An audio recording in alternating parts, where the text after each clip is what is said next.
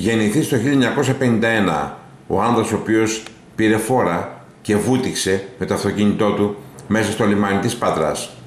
Τραγικές οι μαρτυρίες όσων είδαν τη σκηνή της αυτοκτονίας.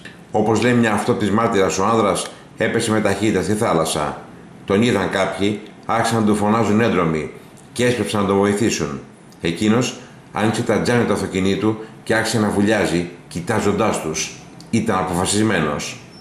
Το αυτοκίνητο ανασύρθηκε από τον βυθό πριν από λίγη ώρα.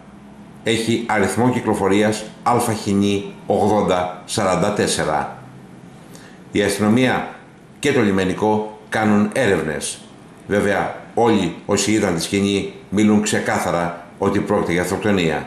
Ο άνδρας πήρε φόρα και έπεσε μέσα στην πύλη 7 του λιμανιού της Πάτρας κοντά στον Κανελόπουλο.